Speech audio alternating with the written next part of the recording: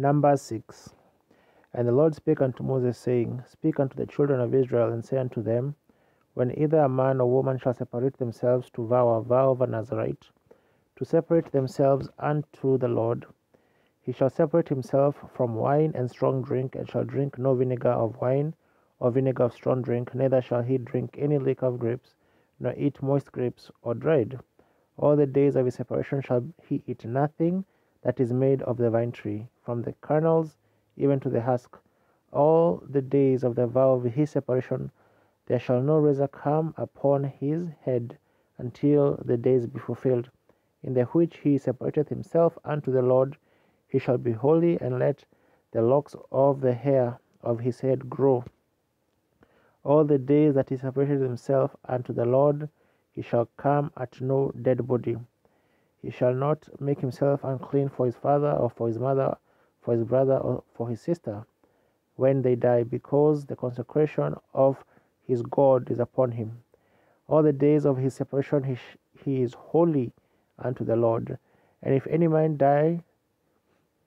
very suddenly by him, and he hath defiled the head of his consecration, he then he shall shave his head in the day of his cleansing, on the seventh day shall he clean, shave it. And on the eighth day he shall bring two turtles or two young pigeons to the priest, to the door of the tabernacle of the congregation, and the priest shall offer the one for a sin offering, and the other for a burnt offering, and shall make an atonement for him, for that he sinned by the dead, and shall hallow his head that same day and he shall consecrate unto the Lord the days of his separation, and he shall bring a lamb of the first year for a trespass offering, but the days that were before shall be lost, because his separation was defiled. And this is the law of the Nazarite. When the days of his separation are fulfilled, he shall be brought unto the door of the tabernacle of the congregation, and he shall offer his offering upon the Lord one he lamb of the first year without blemish for burnt offering, and one ewe lamb of the, first year without blemish for sin offering, and one ram without blemish for peace offerings, and a basket of unleavened bread, cakes of fine flour mingled with oil, and wafers of unleavened bread anointed with oil, and the meat offering, and the drink offerings.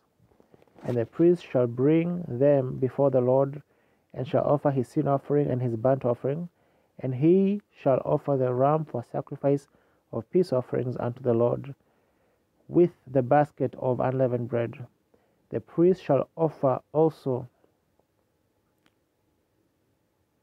his meat offering and his drink offering, and the Nazarite shall shave the head of his separation at the door of the tabernacle of the congregation and shall take the hair of the head of separation and put it in the fire which is under the sacrifice of the peace offerings, and the priest shall take the sodden shoulder of the ram, and one unleavened cake out of the basket, and one unleavened wafer, and shall put them upon the hands of the Nazarite, after the hair of his separation is shaven, and the priest shall wave them for a wave offering before the Lord. This is holy for a priest, with the wave breast and the heave shoulder, and after that the Nazarite may drink wine. This is the law of the Nazarite who hath vowed, and of his offering unto the Lord, for his separation, beside that that his hand shall get, according to the vow which he vowed. So he must do after the law of his separation. And the Lord spake unto Moses, saying, Speak unto Aaron and unto his sons, saying, Of this wise ye shall bless the children of Israel, saying unto them, The Lord bless thee and keep thee. The Lord make his face shine upon thee and be gracious unto thee. The Lord lift up his countenance upon thee and give thee peace. And they shall put my name upon the children of Israel, and I will bless them.